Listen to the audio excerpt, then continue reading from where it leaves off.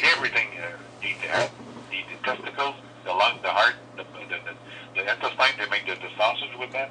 They Yeah. everything. They eat everything. They, there's no waste. You should see the waste that we have in our slaughter. Oh, I I know exactly. I've been to. I've seen the the, the runoff from slaughterhouses. I've seen. What I'm to you is that the waste that we had that day was so minimal compared to the waste I had when I had my slaughter plant. Rob, eat everything. There's no waste. So please, you know, have have a better judgment when you own too high. Well, that, that- like I said, like, like all the bullshit of Well- Muslim people. You have to live with Muslim to understand Muslim. You have to live with Jews. You have to live with uh, Buddhism. You have to live with all those people. I understand. Okay? like I said, like I could have ended up. man. Like I could have uh, went a different route. I could have just showed up with a bunch of friends, did a protest in front of your farm, but instead I just all I did I uh, took the info, looked up your address, looked to tried to find out a background on you. Um, I went to the I called the police through their their one eight hundred number. I talked to the constable carrier and uh, voiced my wh- what I was uh, ha- having a grievance about. Well, and- it, and- it wasn't your name that came up, uh, Rob. It was Rose's name. I'm sorry.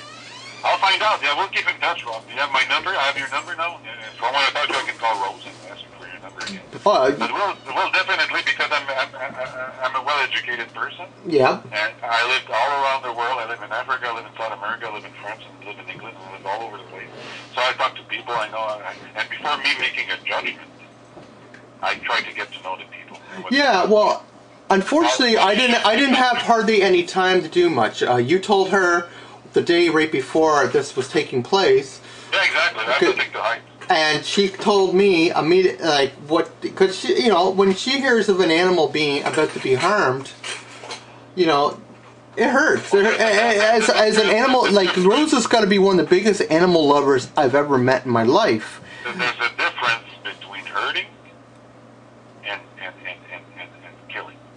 And I don't like the word killing because it's not it's not Okay, that I want to give. but unfortunately- to me, it's to end the life animal. Yeah, I know, but the unfortunate or- part. or not only religious thing is because we appreciate the meat.